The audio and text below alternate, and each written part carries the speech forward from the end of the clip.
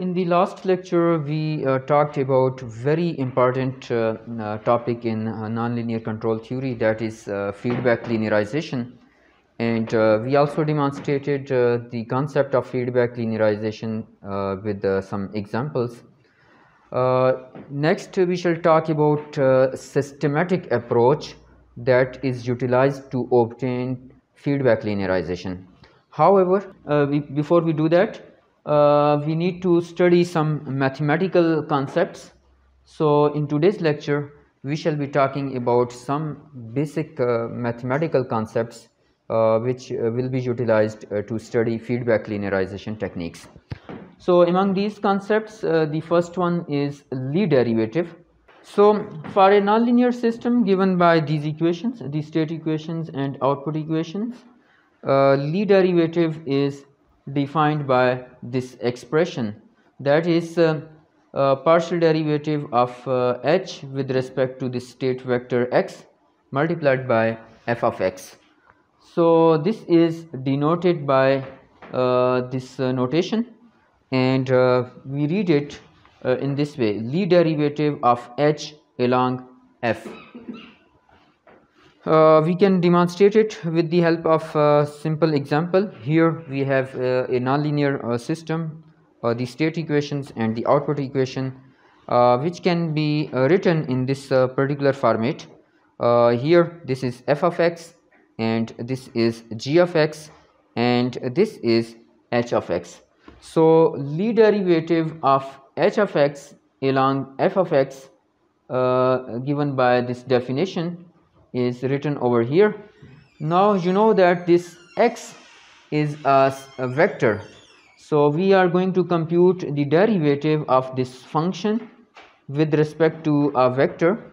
So that is given by this relation for x, uh, x belongs to a three dimensional space. Uh, it has three uh, state variables x1, x2 and x3.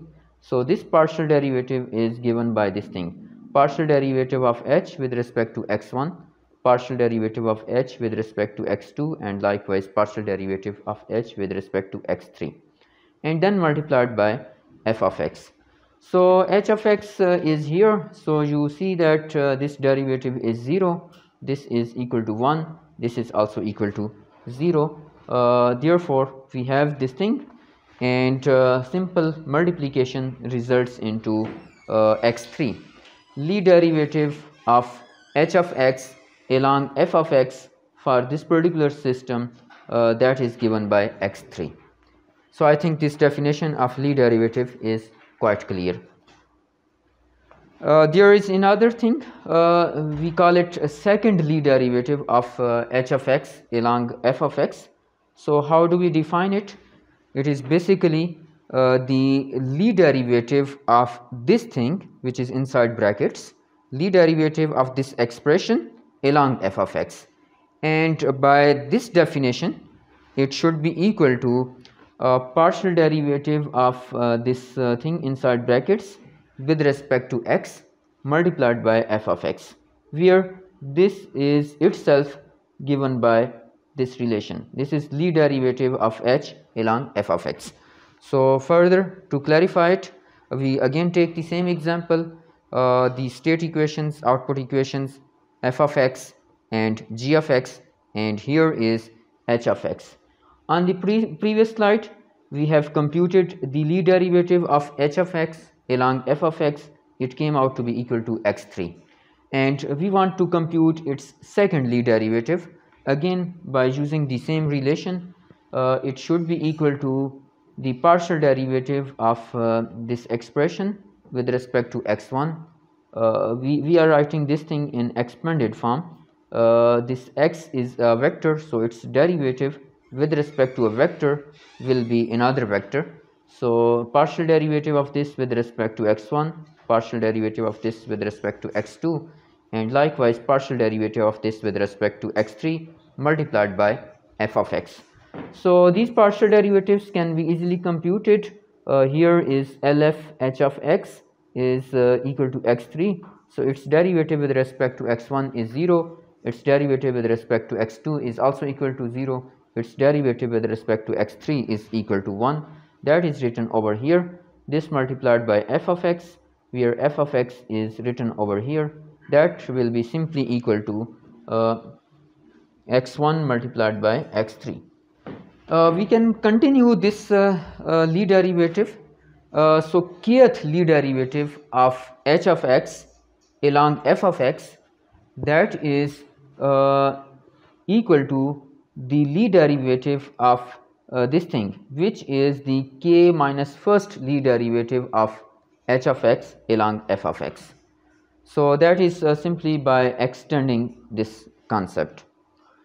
Uh, where the zeroth Lie derivative of h of x along f of x that is basically h of x itself. Here is another thing uh, that is uh, Lie derivative of uh, this expression along g of x where this expression itself is Lie derivative of h along f of x. So what do you think uh, what should this be equal to? Right. So it should be equal to uh, derivative of this expression uh, along g of x where this expression itself is given by this relation. That is equal to partial derivative of this thing with respect to x and then multiplied by g of x. And uh, this itself is given by this relation. Again uh, we take the same example and uh, now Lie derivative of h along f of x we have computed it on uh, previous slides. And now we want to compute its uh, Lie derivative Lie derivative of this thing along g of x. So that is simply equal to uh, this expression. That is uh, we we are writing this in expanded form.